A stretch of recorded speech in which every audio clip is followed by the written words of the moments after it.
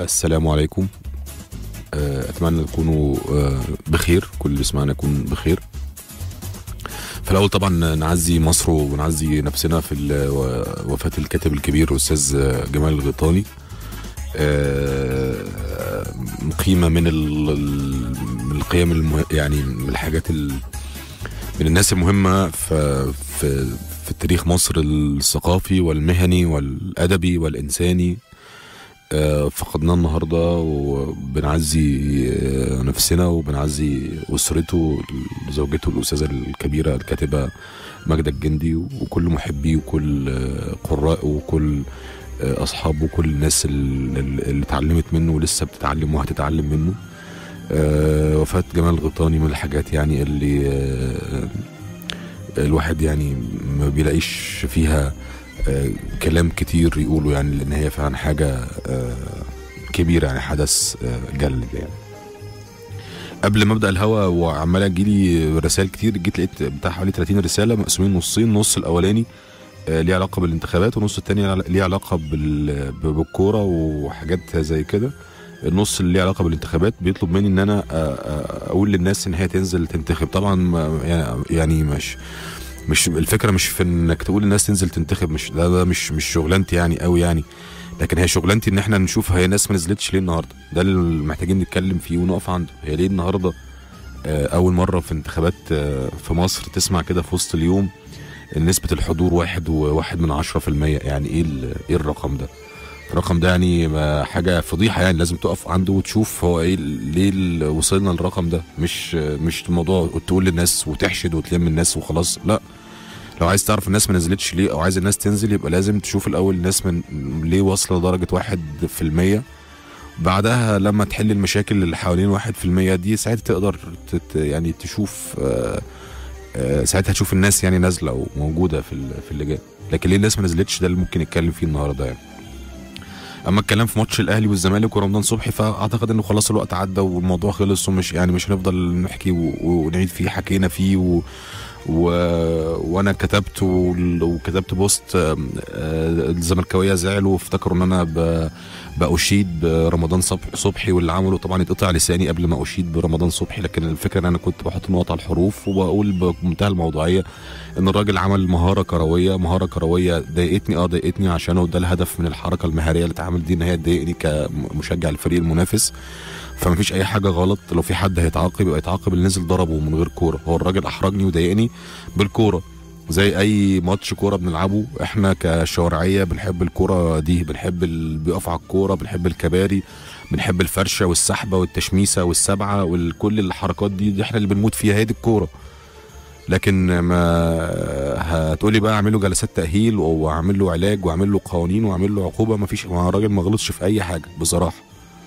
هو راجل بالكورة اللي يعرف يش- يش- يشتغل عليها بالكورة ضايقني خلاص هو ده الموضوع. عايز تضايقه ترد عليه في الملعب بكورة شبهها لكن هتقف عنده استديو- استديوهات التحليل اللي هي عاملة الموضوع شغلانة ومهيصة الدنيا ويلا آه، نعمل درس في الأخلاق. لا ما مش على فكرة اللي إحنا في فرق ما بين الكورة اللي إحنا بنحبها. أنا بعتبر نفسي واحد من جمهور الدرجة الثالثه الشرعية اللي بينطوا من عصفور النادي عشان يلعبوا كورة أو بيلعبوا كورة في الشارع على الأسفلت.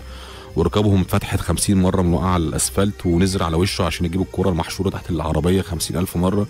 أنا ما أنا م- نوع تاني غير اللي بيتكلموا استوديو التحليلي استوديو التحليلي بيروح ال- يتكلم في الكورة وهو لابس بدلة وكرافته وقاعد في استوديو الموتال وبيبرق وبيلمع وبيتكلم الشوكه والسكينة. أنا بقعد اتفرج على الكوره وأنا لابس بنتكور وتيشيرت وحفيان وبطفي السجاير في كوبايه الشاي مع اصحابي فانا يعني إحنا حاجتين غير بعض. الاستوديو التحليلي بيتكلم عن الكوره إن حصل الزمالك على بطولة الدوري 22 مرة وحصل على بطولة الكاس 15 مرة وفي سنة 94 أنا لا أنا بتفرج على الكورة إنه الزمالك في ماتش 2 2 حازم إمام آه، فرش آه، جilberto الشريف عبد الفضيل على وشهم وفي ماتش 1 1 آه، شيكابالا سحب حسام غالي ورقصه وكوبري بعتها لحسين حسين ناصر المحمدي وفي ماتش 2 0 باسم مرسي خلى حسين السيدي يرقص باليه. ده إحنا الكورة إحنا دي الكورة اللي بنحبها. فنهاية الملخص الكلام ده إن اللي عمله رمضان صبحي حركة مه- مهارة كروية آه، من حقه تماما ما غلطش في حد ما شتمش حد ما مدش إيده على حد هو بالكورة. ضايق الفريق المنافس ودي حاجة مشروعة تماما وده نوع من حركات الرد عليه بيكون في الملعب. أكتر من كده بيبقى إيه؟ جحوشية أو حمورية من الآخر يعني. فده برجع واكد إن هو مش اعجابي يعني باللي عمله رمضان صبحي يعني. لا أنا بس إحنا علشان نبقى فاهمين إنه آه، مش أي زيطة تزيط معاها. وما يعني وت- وتروح معاها كده مع الناس اللي بتملى وقت يعني على الهوا يعني. أما الجزء الثاني بتاع كابتن أحمد المرغني فدي حكاية إحنا حكيناها قبل كده إن أحمد المرغني لعيب نادي الزمالك آه، ال- ال- السابق واللي كان محترف قبل كده بره مصر في كذا مكان ورجع لعب في وادي دجلة جه في رمضان اللي فات في أحداث سينا لما شاف أعداد من الضباط ومن الجنود الشباب ال- اللي ماتوا هناك فكتب post على الفيسبوك أو تويتر. ال post غالبا آه كتب إن هو يعني حزين على الشباب ال- الصغير ال- اللي مات ده وبيحمل ال- النظام مسؤولية اللي حصل. وكتبها يعني بلهجة حادة شوية. فانفعل لحظة انفعالية كتب زيها وكتب قدها 20000 مرة. في النهاية يعني ما ما كانتش حاجة يعني خطيرة قوي لكن طبعا نادي وادي دجلة راح معاقبه وراح الإعلام عمل حفلة عليه وكلكم فاكرين الأحداث. والنتيجة إن هو بطل يلعب كورة. قلنا وقتها يا جماعة ما ينفعش كده ما حدش بيتع... بيتعامل مع حد بالطريقة دي. وما تقطعش عيش. لعيب كورة عنده 26 سنة علشان كتب بوستاية يعني أو تويتة فيها رأي زيه زي أي حد. حاولنا ساعتها بكل الطرق نقول طيب هو خلاص غلطان معلش إحنا آسفين هيرجع يلعب كورة تاني مش هينفع نقطع عيشه لازم يتأيد ولا أي حاجة. كله عمل حفلة عليه وكله منع عقيده. وحتى لما طلع اعتذر محدش اهتم باعتذاره والنتيجة إنه خلص موسم القيد بتاع الدوري العام وهو الراجل بقى خلاص في الشارع ما بيلعبش كورة واتحرم من كل حاجة تخص مستقبله واتقطع عليه الطريق وهو عنده 26 سنة. فجه لعيب اسمه إبراهيم سعيد في التسعينات. إحنا كنا بنتريق دايما على حركاته وقصه شعره وبيدهن شعره أصفر وأحمر وشوية الحركات دي. وبنقول عليه طول الوقت يعني لعيب فافي هو لعيب كوره جامد بالمناسبة بس بنقول عليه عيل فافي وبتاع حركاته وبتاع مشاكل. لكن جه النهارده صلح كل اللي فات ده وعمل حركة آه حركة راجل. جه الراجل هو اتجه للتدريب ومسك فريق اسمه فريق جولدي في الدرجة الثانية مش عارف الثانية ولا الأولى به مش متأكد يعني. آه وأول حاجة عملها مسك تدريب الفريق ده راح جايب أحمد المرغني وأيده في الفريق ورجعه يلعب كوره تاني وأنقذه من الضياع. رجعه يلعب كورة وخلاص اتأيد تاني. فكرة القيد دي مهمة جدا لأي لعيب كورة محت... يعني محترف إن هو يتأيد يعني مش بقى في الشارع. فأيده تاني ورجع وهيلعب كورة تاني. أحمد المرغني وإحنا بنشكر كابتن إبراهيم سعيد على حركة الرجولة ال- والجدعنة اللي كشفت عالم كبير للكورة في مصر. في ناس مكتوب في بطايقها ذكر كد كذبا يعني مش حقيقي لأنه لو كان في ذكر وحيد كان قدر إن هو يتولى مسؤولية الدفاع عن شاب مش هقول إن هو حقه بلا مش هقول حقه في إن هو ينتقد هنقول إن هو غلط. شاب عنده 26 سنة لعيب كورة وغلط مش هقول إن هو حقه. ما يورينا ده حقه ودي موضوع مفروغ منه لكن ماشي خلينا ماشيين للآخر ونقول إن هو غلط. ولسانه فلت منه في النقد. ماشي فأنت بتذبحه بتقطع عيشه وبتقضي وبتقضي على مستقبله. وتيجي النهارده تقول للناس ليه ما نزلتش انتخابات؟ شغل يا عم.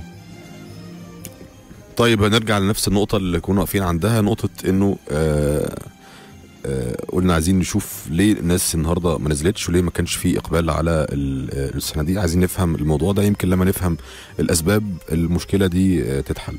وكالعادة علشان نفهم التحليل مظبوط هيبقى معايا في خلال ثواني واحد من أشطر آه، الكتاب آه، في جيلنا. طبعا أنا مش عايز أكبره في السن هو يعني من آخر العنقود في في الجيل يعني. آه، وشطارته مش بس في الكتابة الحلوة شطارته في قدرته على المراقبة وعلى ال- ال- الاستكشاف وعلى التحليل وعلى عمل ربط منطقي بين الأحداث للوصول لنتائج مبهرة وعظيمة. أنا بعتبره واحد من الكت... المحللين في آه، في في في, في جيلنا يعني في في الكتابة الصحفية. أستاذ أحمد. مساء الخير. آه، أستاذ أحمد دريني برحب بحضرتك.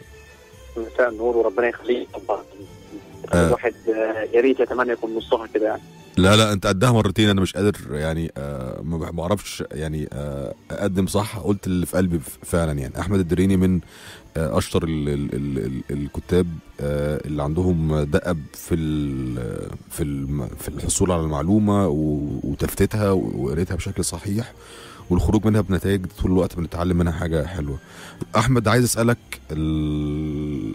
ليه باختصار يعني ببساطه ليه الناس ما نزلتش الانتخابات النهارده وليه تفاجأ في وسط اليوم بإحصائية رسمية طالعة بتقول إنه نسبة الحضور كانت واحد في المية؟ أم، أو يعني خليني أبدأ بالجزئية الثانية بس عشان هي اللي محتاجة توضيح فني. أه، مجموعة من زمايلنا من المحررين القضائيين والبرلمانيين قالوا إن التصريح نفسه أه، التبس فهمه على الناس وهو طالع بصورة ملتبسه بتاع النسبة اللي هي أقل من 2% من الناس صوتت أيوه. هم قالوا إن طريقة حسبان هذا العدد كان عن طريق آه، آلية رصد إلكترونية بترصد بعض الناس أو اللي ينفع يترصدوا. يعني حاجة تقنية برضو مش موضحة مم. إن اللي رصدهم القارئ الإلكتروني أو العداد الإلكتروني هو الرقم دوت. إنما هو أقل من الرقم الكلي. نيجي بقى للرقم الكلي اللي هو الحقيقي.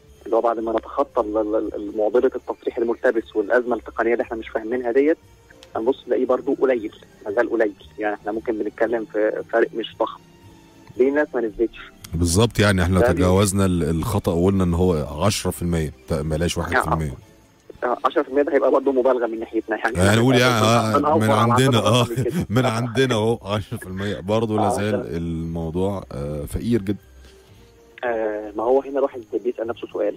الإنسان عشان يعمل أي سلوك في الدنيا بيبقى مستني من وراه عائد. تمام. فإيه هو العائد أو الغاية اللي عند المصريين من انتخاب البرلمان؟ حلو قوي آه، التحليل ده أنا ماشي معاك أهو واحدة واحدة. تمام. واحدة واحدة. يبقى أنا هبص هاخدها على كذا جزئية. رقم واحد إيه اللي ناقصنا من غير البرلمان. آه ولا أي حاجة على الاطلاق ممكن الكثير من التسلية ناقصانا. يعني جدا. البرلمانات بعد بعد فترة آه، موافقة موافقة اللي كان ال- فقره مجلس الشعب دي فقره ممكن أنت تنام عليها ولو عندك طفل رضيع تقعد آه، تطبطب عليه فينام على آه، الصوت الرتيب والإيقاع الرتيب بتاع المجلس. آه، بعد ما تخطينا المرحلة دي بقى المجلس مسلي في ناس بتأذن وناس بتهزر وناس بتشتم بعض وناس بتضرب بعض فكان ممكن يكون فقره تسليه.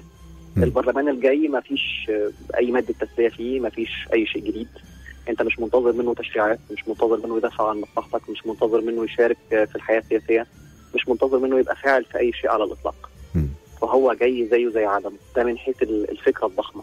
إن إحنا البلد خلاص يعني ال- اللي حصل فيها إن إحنا قدرنا ندوس بوز كده وإحنا ماشيين بيها ووقفناها وقعدنا نهدي فيها ونفتت في ورقها من أول وجديد. وماشية بالصيغة دي والناس شايفة إن هي ماشية بالصيغة دي وتمام فمش ناقصها البرلمان. يعني مش حاسة بغيابه. مش مفتقدة البرلمان مش مفتقدة حضوره مش حاسة إن مفيش مشاكل. إن هو المشاكل اللي بتعاني منها مش البرلمان هو اللي يحلها فهي حاسة إنه وجوده زي عدمه. وجوده زي عدم وده رقم واحد. تمام. رقم اثنين فكرة آه، الأمل حوالين المستقبل. آه، ما أظنش المصريين إحنا كمصريين دلوقتي عندنا تصور عن المستقبل أصلا شكله عامل إزاي عشان يبقى عندنا أمل أو إحباط. مم. إحنا كلنا أسرى حالة البوز حد دايس كده مم. على المشهد. فما فيش الدافع النفسي اولا إن أنت تنزل تعمل حاجة فتحس إن أنت صوتك ده هيبقى ليه لازمة أو ان هيحصل أي تغيير من أي طراز في أي شيء. جزء تاني من الناس من من ساعة الاطاحه أبو مبارك لحد النهارده نزلت اللجان كذا مرة إحنا نزلنا في الثلاث أربع سنين دول كتير قوي. الدستور الأولاني والدستور الثاني ونزلنا في, في الانتخابات الرئاسية كذا مرة في المرحلة الأولى والانتخابات الرئاسية الثانية ناس نزلت كتير والمرات النزول الكتير ديت كسرت ال- الإيقاع الكرنفالي بتاع الانتخابات. كفكرة عاملة زي العيد كده أيوه. ننزل ما تيجي ننزل نشوف نصلي نشوف الناس بتعمل إيه والناس لابسة إيه والناس اللي زينا عاملين إزاي. زهوتها راحت. زه... يعني زهوتها زه- راحت من كتر آه، التكرار. صحيح. أما عندنا اللي كان كذا مرة نزلناها في الشتاء والدنيا بتمطر والشمس طالعة وإحنا حاطين شمسيات حاطين كراتين في راسنا من ال- حاطين شمسيات من المطر وحاطين كراتين من الشمس يعني جربناها كل احتمالاتها. فخلاص يعني إحنا آه، اعتبرها كده كم- كمشهد كرنفالي للشعب المصري اللي مش مش سهل بالنسبة له عادة. إحنا خلصنا عليه. بالظبط ان هو يجتمع اعداد ضخمة في أي فعالية عامة مش ما بيعرفش بسهولة يعمل كده زي باقي شعوب ال- الأرض خلاص يعني العملية خلصت انتفى الغرض منها. وخد غرضه منها الشعب المصري. جزء ثالث هو الشخوص البرلمان الشخوص المرشحة والنظام الانتخابي نفسه. النظام الانتخابي اللي هو قوايم ومستقل وفردي يعني أنا حاسس إن هو النظام ملخبط الناس جدا وأظن إن في صعوبة في فهمه واستيعابه وأنا نازل أعمل إيه بالظبط أو انتخب مين عشان يعمل إيه. ورقم إيه كفيل إن هو ينجح مين وفي إيه كفيل إن هي تنجح مين أو تسقط مين. فالدنيا برضه مربكة شوية وملخبطه. آه، الجزء الأخير أظن متعلق بشخوص المرشحين نفسهم أنت آه. محطوط أو ال- المواطن المصري محطوط ما فيش حد فيهم يدفعك دفع إنك تنزل تصوت أنت عندك خليط ما بين آه، وجوه ال- الوجوه القديمة بتاعت فترة مبارك.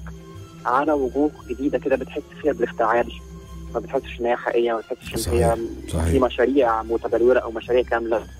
وبتحس إن في ناس بتنافس بعضها في الستات يعني إحنا يعني في يعني البرلمان دوت هيبقى بينافس بعضه في في افضليه المرفأ مم. طيب يعني ما يعني بالظبط بر- أحمد حلمي يكون نفسك قبل ما السوق ياكلك يعني زي ما الناس بتقول. أيوه. فمين يستم... يعني مين يستفزك تنزل ولا شخص ولا سياسة ولا أمل ولا طموح ولا حلم ولا آه, حتى آه, آه طيب آه لو. لو تسمح لي آه آه ألخص معاك بس ال- الأسباب اللي قلتها عشان هي كلها مهمة. أنت قلت السبب الأولاني إنه الناس مش مفتقدة البرلمان إنه الحياة مستمرة بدو- بدون البرلمان ومش حاسة بإن هي ناقصها حاجة. آه حضرتك قلت إنه آه مفيش تصور واضح عن ال- المستقبل سواء آه يعني مفرح أو مخيف. يعني مفيش مش هنزل علشان خايف على المستقبل في حاجة أو مش هنزل علشان مش يعني متصور حاجة فلازم أحارب عليها عشان أخدها مثلا يعني. الحاجة الثالثه حضرتك قلت إنه ال- النظام ال- الانتخابي مكركب اللي هو القايمة في الفردي فمفيش حاجة واضحة فده برضو يعني واخد من الناس آه، آه، الاهتمام. حضرتك قلت برضو إنه إن الناس خلصت على فرحة الانتخابات. يعني نزلت الانتخابات بشكل آه، مبالغ فيه آه، في الفترات اللي فاتت بالكرنفالات بالزفة بالكاسيت بالغنى بالرقص بالزغاريد بكل الحاجات دي.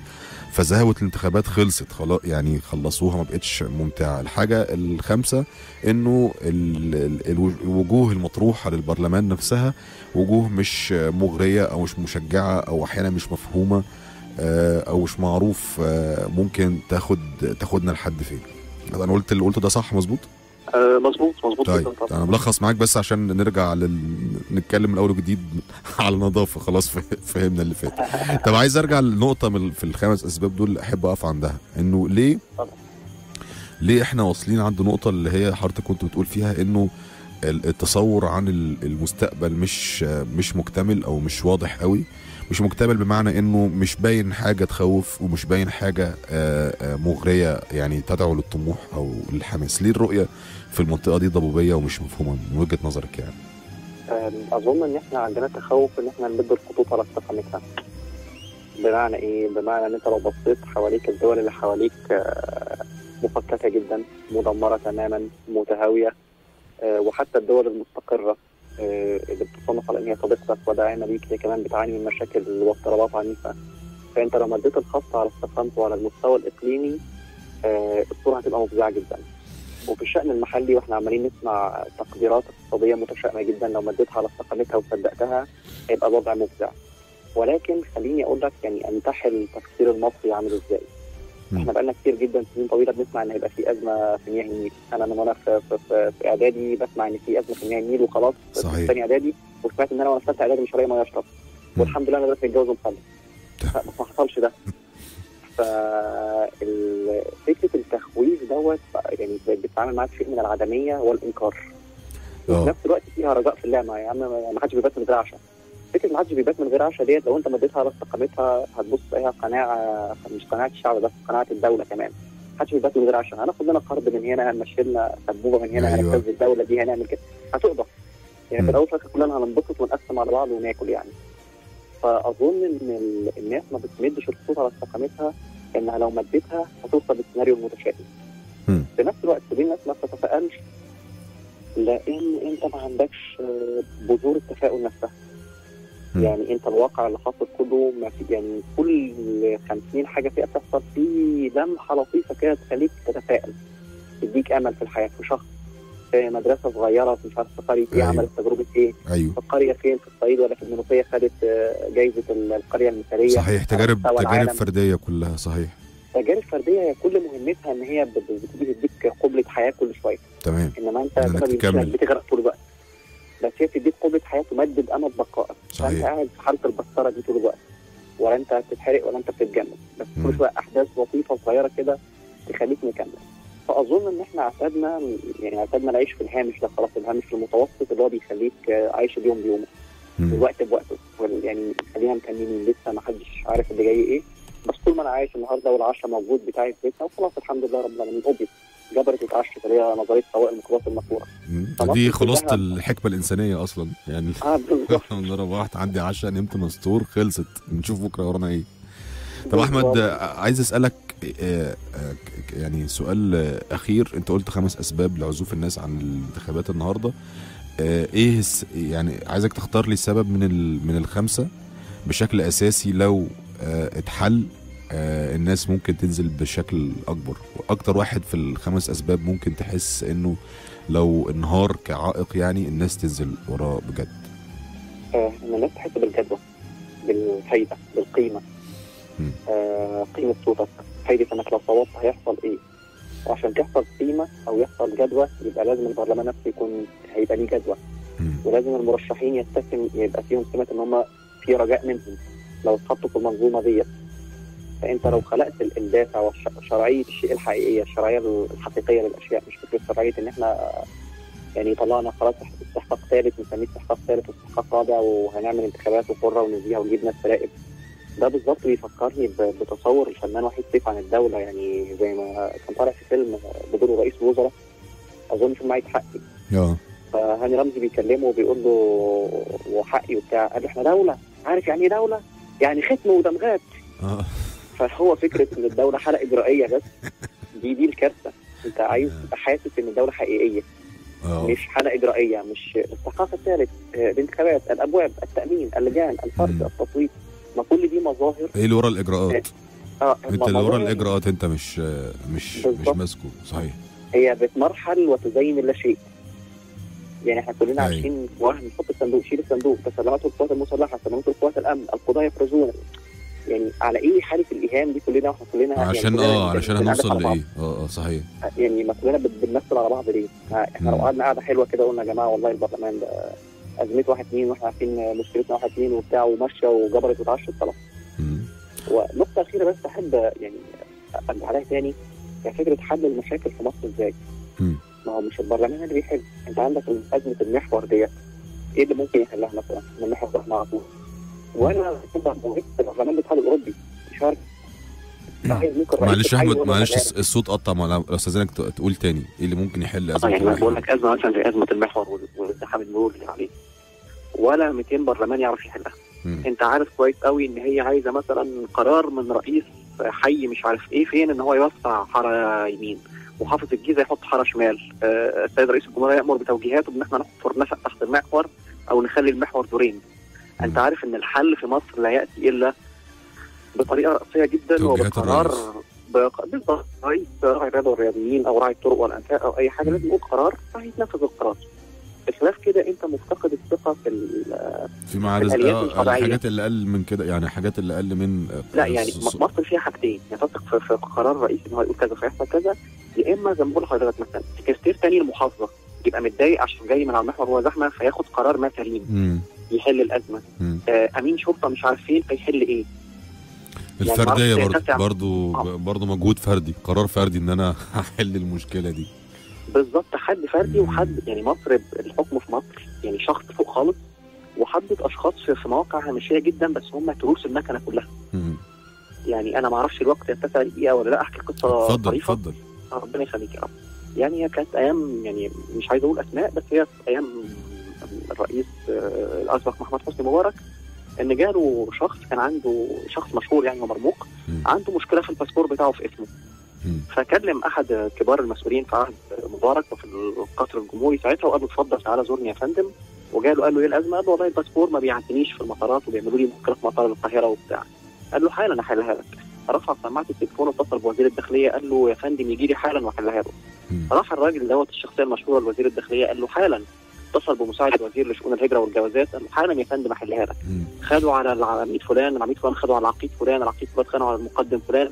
وكل يقول لي يا فندم حالا جاي بنفسك وجاي من عند فلان بيت كل حد يقول الاسم اللي فوقه. حالا نحلها لك ووصل برضه لحد مستوى المقدم أو الرائد والأزمة ما اتحلتش. الراجل آخر ما زهق راح لموظف الجوازات اداله 50 جنيه وخلص المشكلة كلها. فأنت عندك حسني مبارك كان يتوهم إن هو بيحكم مصر بس هو كان بيحكم الخمسة ستة اللي حواليه.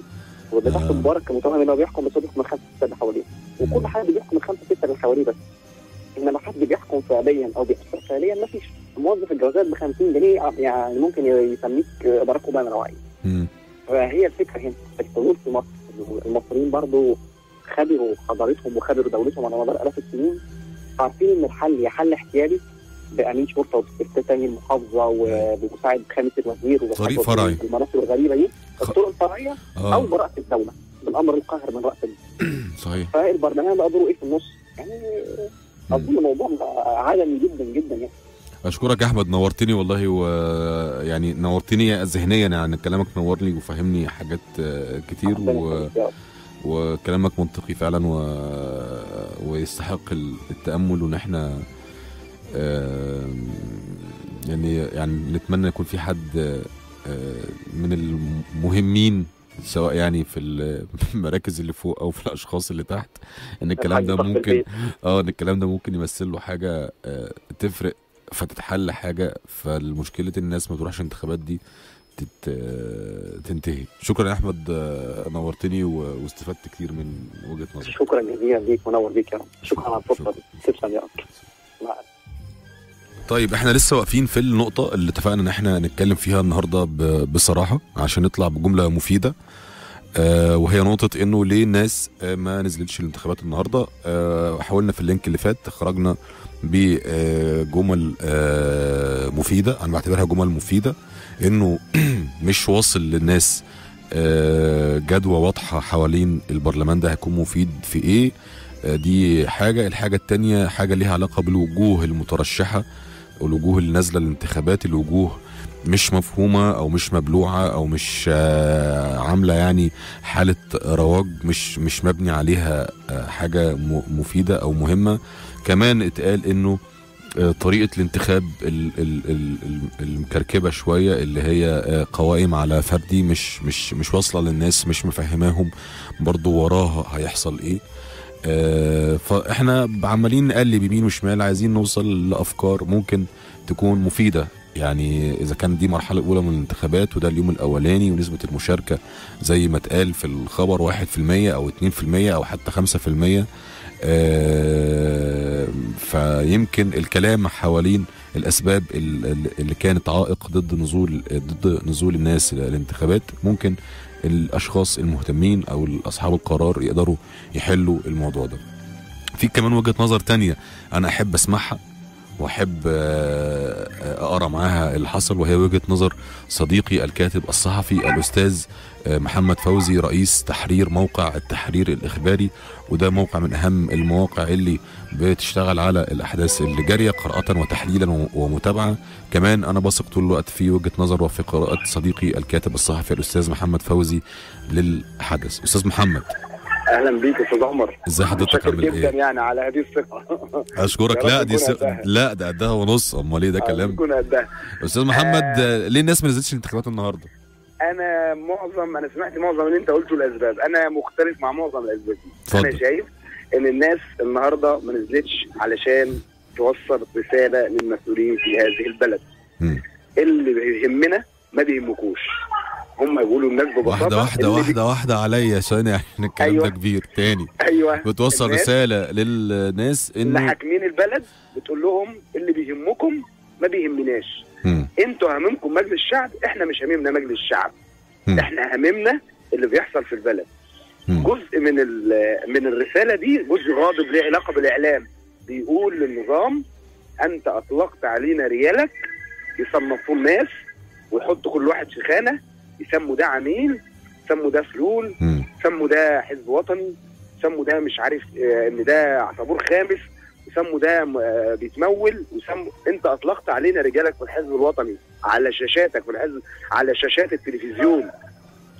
تصنف الناس فالناس دي ردها على الانتخابات أستاذ عمر اللي حصل النهارده لو القيادة السياسية والناس اللي مسؤولين عن البلد وإدارة هذه البلد ما وقفوش عنده طويلا فمصر رايحة في كارثة ربنا وحده اعلم بيها.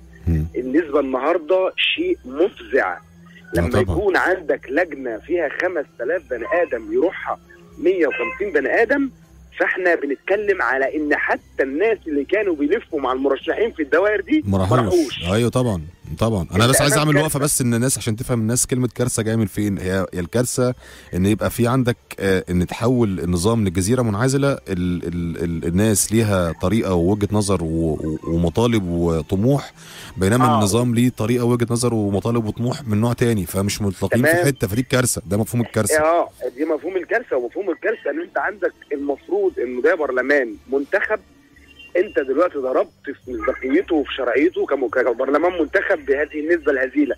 اللي هي بالمناسبة ممكن تتكرر وممكن يعدي برلمان. لكن انت امام كارثة حقيقية انه يجي لما يتقال ان أنا عندي برلمان هيقول لك البرلمان ده منتخب ب 5% يعني في 90% مرضيو ما طلعوش.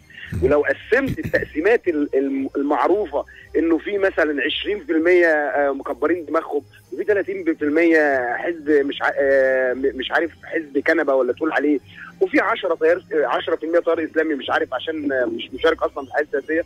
فدي كارثة أنا عندي نقطة ثانية لها علاقة بدي الناس ما نزلتش. الناس ما نزلتش علشان أنت الفترة اللي فاتت حصل ما يشبه المعترف المتفق عليه في القيادات السياسية موت السياسة أنت عندك القيادة السياسية ماشية آه. بخطوات بتتقمص لما حد يقول لها إن ده لا إحنا الخطوة دي ممكن تبقى أفضل لو اتعملت كذا أو إنه لا الخطوة دي مش وقتها دلوقتي اللي هم أهل الاستشاره اللي هي هو المشكلة مش مشكلة إن في إن النظام بيتقمص المشكلة في اللي بيتقمصوا للنظام. يعني الله يعني اللي أيوة، بيتقمصوا للنظام أيوة. هم اللي هم اللي. هم اللي مشكلة. اللي بتقمصوا اللي بتقمصوا النظام بالت- بالتبرع. اللي هي أيوة. كل الحاجة الحاجات المجانية. اللي هو فجأة تلاقي ناس طالعة لأن أنت بتنتقد حاجة فطالعة آه يعني سوري يعني ترفع المطوف آه، تحط لك المطوف جنبك. عشان يعني أنت إيه أنت مش آه أنت مش على هوا النظام. أنا في رأيي اللي حصل النهارده لازم يتم تداركه وأنا طبعا كنت ضد تماما إن يحصل إجازة بكرة لأن إجازة أنت عارف الناس الناس أيوة. بتاخد الإجازة هتقعد في بيتها. لكن الأولى إن لو نحس في شغل هيقول لك طب ما ننزل ننتخب هم لحقوا نفسهم. قالوا نص يوم آه لكن أنا آه، آه، اللي حصل النهارده شيء آه، مفزع اللي حصل النهارده رسالة من الناس بتقول بتقول للقيادة السياسية وبتقول لنخبه هذا الوطن وبتقول للاعلاميين وبتقول. ال- إن إحنا مش تبع حد موت السياسة اللي اتقال عليه موت السياسة في البلد دي في الفترة اللي فاتت موت السياسة بمعنى إن مفيش أصوات معارضة والأصوات المعارضة بيتم تصنيفها وتصنيفها في خانات سيئة هو ده اللي خلى الناس ما تطلعش النهارده. الوجوه الإعلامية الكريهة اللي عمالة تقيل الاتهامات للناس ومش فاتحة مجال مش فاتحة مجال للأصوات المحترمة.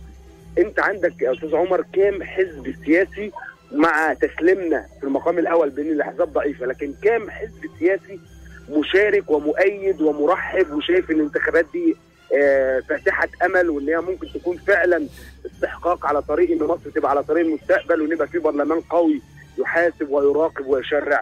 مفيش. معظم ال- الأحزاب يائسة ومنفضة ومكبرة دماغها ومش حاشدة وحتى مش مبينة أهمية الحدث. فأنت عندك فعلا مجتمع في أزمة كبيرة جدا. بكرة ممكن تفاجئ بكرة في اليوم الثاني للانت- الانتخابات ممكن تفاجئ إنه من كان ال- التخوفات كلها اللي كانت موجودة تظهر إن التيار الإسلامي سواء كان إخوان مسلمين أو سلفيين يحشد أنصاره بكرة في ظل حالة ال- الارتخاء العامه اللي حصلت دي في الشارع المصري في الانتخابات. هتكتشف إن أنت قدام برلمان بقى يعني أصوات صحيحة.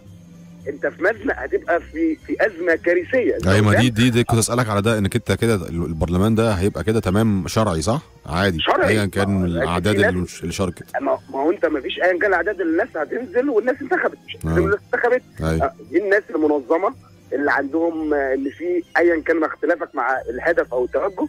الناس دي هي اللي عندها هدف وتوجه. واستنت قرأت الخريطه يعني قرأت الخريطة في اليوم الأول فشافت الوضع كده فنزلت في اليوم الثاني بقى. ادونا فرصتنا بقى ودخلوا ونزلوا الشارع وهينزلوا بمنتهى الأدب والاحترام.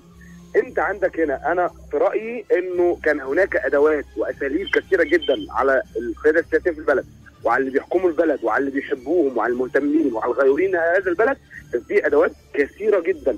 إن أنت فعلا تدخل أحزاب إن أنت فعلا تدخل الشارع المصري الحقيقي إن أنت فعلا يبقى في أصوات عاقلة في الإعلام إنك تحيي السياسة انك إنت شغلك كله كان بيودي في المنطقة اللي أنت قلت عليها اللي هي موت السياسة موت انه السياسة أحزاب تماماً.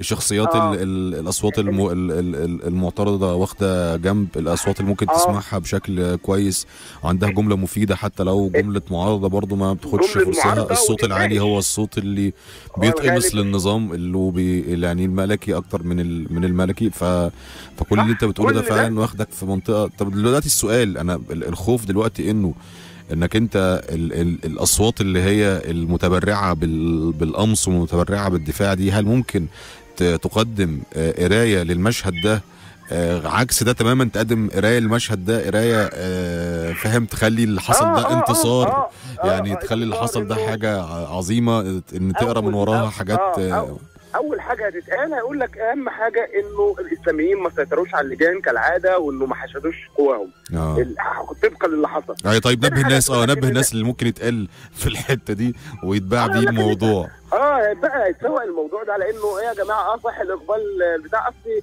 آه النهارده الجو كان وحش الجو كان وحش الجو درجة حرارته مرتفعة. آه أصل أهم حاجة إن الإسلاميين ما نزلوش يسيطروا على اللجان وستاتهم وشيوخهم كانوا قاعدين بلابتوب وعمالين يقولوا انت روح هنا وانت روح هنا ويجيبوا عربيات مليانة بناس ويدخلوهم. هيتقال إن الناس آه أصل استحقاق انتخاب ناس ملهيه بلقمه بلقمه العيش والاقتصاد دلوقتي بقى رقم واحد السياسة مش رقم واحد. الاقتصاد رقم واحد. فنقول له. والله حضرتك انت عارف ان إن الناس اللي رايحة الانتخابات آه، حصل إنه آه، الدولار الدولار زاد 10 قروش. وإن أنت دلوقتي الجنيه في سعر السوق آه، في سعر الس- آه، في السوق السوداء آه، تقريبا قرب ل 10 جنيه. وانت ده آه، كارثة حقيقية إنه كل المؤشر اللي أنت عندك فيه آه، البنك الدولي طالب من البنك الدولي قرض ب 3 مليار آه، دولار ان أنت. عندك ال- الفريق مميش جه قال إنه ال- القناة ايراداتها انخفضت لأ فمش حقيقي الاقتصاد اولا الاقتصاد والسياسة الاثنين بيمشوا جنب بعض عشان كل واحد بيسند الثاني. في سياسات يعني أو إجراءات سياسية بتخلي الاقتصاد يبقى ليه قيمة وفي إجراءات اقتصادية بتخلي السياسة تلعب دورها الحقيقي. فلا في تسويق هيحصل تسويق. بس أنا أعتقد إن في المرة دي يا عمر هيبقى في مشكلة في تسويق آه، أسباب عدم آه، إقبال الناس. يعني الحجج مش هتبقى آه، قوية أو واقعية زي المرات اللي فاتت. لا أنت قدام حدث آه، أخطاء جسيمة حصلت الفترة اللي فاتت من أطراف كثيرة جدا. آه، أطراف زي ما أنت قلت وأنا حابب التعبير ده اللي بيتقمصوا للنظام. أطراف من داخل النظام نفسه شايف إن أصل البلد ما تستحملش أصل تيجي تكلم أي واحد تكتب أي وجهة نظر أو تطلع في التلفزيون تقول أي وجهة نظر فيقول لك لا أصل البلد ما تستحملش يعني إيه البلد ما تستحملش؟ طب محمد البلد هل. هل هل لو لو لو يعني آه، ممكن آه، لو يعني تعاملنا بالموضوع بقدر من ال من ال من التفاؤل هل ممكن نعتبر إنه واقعة زي واقعة الانتخابات دي آه، تكون آه، بداية لمحطة جديدة فيها قراية مختلفة على إيدين ناس مختلفة بشكل مختلف يعني هل ممكن تكون أنا- حاجة النظام يعتبرها وقفة إن إحنا آه. طب نقف هنا علشان نشوف إيه اللي بيحصل؟ لا هتبقى واقفة هتبقى واقفة في حالة واحدة بس مم. لو أن هناك مخلصين داخل هذا النظام توقفوا وقالوا له بمنتهى الإخلاص إن هذا مؤشر خطر مم. لو طلع القماصين للنظام وفرشهم أو بررهم أو وجدوا مبررات لأن مفيش نزلت أعتقد إن الموضوع هيعدي عادي وهيجي وهيجي آه، وهيجي برلمان محسوب جزء منه على الأقل القوائم محسوبة على النظام أو محسوبة على القيادة السياسية. هتيجي آه تقول آمين لكل القرارات اللي طلعت. هيقولوا مش هنعدل الدستور وده اللي حصل يمكن قبل البتاع ده. اللي هو آه إحنا يعني في ناس كتيرة جدا في القوائم طلعت قالت إيه؟ آه إحنا أول ما ندخل البرلمان هن آه، هنقر كل القوانين هيقر 432 قانون في آه في, في, في ساعات يعني ومش هنعدل الدستور ومش هنعمل إيه ومش هن... آه، أو, هنعدل الدستور وهنعمل طيب هو إيه لازمته يعني لما مواطن يبقى قاعد قدام التلفزيون وفي برنامج ويشوف الناس اللي. المفروض الناس اللي تشرع اللي تشرع له وتراقب أداء الحكومة اللي هي دي يعني المفروض انه يحاسبها الحاجات دي راحت فين بيقولوا كده يبقى. هو هينزل يعمل إيه؟ يعني أنا دوري إيه؟ صحيح، أنا دوري هجيب ناس يعني يعني. إحنا دلوقتي الرهان على العقلاء والحكماء ال- الحكماء اللي والعقلاء يقدروا يقروا المشهد اللي ده قراية تنطلق منها وعلى- لمنطقة محطة مهمة. بتعوض بتعوض اللي فاتت وصلتنا للمشهد بتاع على النهارده. آه على الأقل في المرحلة الثانية يبقى المرحلة الثانية في. عقل بيدير العملية صحيح السياسية. صحيح. وبيدير العملية الانتخابية فنعرف الم... وبعدين هيبقى في وقت. فنعرف الناس ما. فنغير الخطاب بقى. يعني نبدأ يا جماعة يتقال كده يا جماعة غيروا الخطاب بقى انزلوا على الأرض كلموا الناس على قدها تمام كلموا الناس باحترام احترموا عقول الناس. طبعا. احترموا مشاعر الناس احترموا الناس دي بتفهم وإن هي عندها أيوة يبقى الكلام آه، فيه إرادة. منطق أكتر من كده صحيح منطق صحيح. آه إنما طول لو الموضوع اتاخد بال- بالشكل اللي معمول ده محمد إن شاء الله إحنا إن شاء الله بإذن الله يوم في في ال- في المرحلة الثانية برضه هكلمك ده لو يعني ما كنتش موجود معانا في الاستوديو ونقرأ في المرحلة الثانية اللي إحنا قلناه ده وصلنا منه آه لإيه وأشكرك جدا نورتني و... أشكرك يا عمر بشكرك جدا عمر. الوقت خلص كان ممكن محتاج أكمل معاك أكتر. من كده بس ملحوقة إن شاء الله متشكر أستاذ محمد فوزي. أشكرك نورتني. ونورت البرنامج شكراً شكرا مع الف سلامه مع طيب إحنا النهارده ال- يعني أعتقد إن كان ال ال الكلام آه، كتير ومفيد. في محاولة قراية ليه الناس ما راحتش النهارده محاولة مخلصة جدا من ناس محبة للبلد من ناس وطنيين جدا بيحاولوا يقروا المشهد علشان يطلعوا الثغرات اللي فيه بطريقة ممكن تكون مفيدة للناس اللي هتاخد قرارات. لسه في أيام تانية لسه في مرحلة تانية. لو حد استمع لينا النهارده وللأفكار اللي قالوها الشباب الأفكار اللي قالوها الكتاب الصحفيين عن ليه الناس تراجعت أعتقد لو في قراية حكيمة وعاقلة للي اتقال النهارده ممكن تكون مفيدة بشكل كبير جدا في اللي جاي. أشوفكم على خير باذن الله يوم الثلاث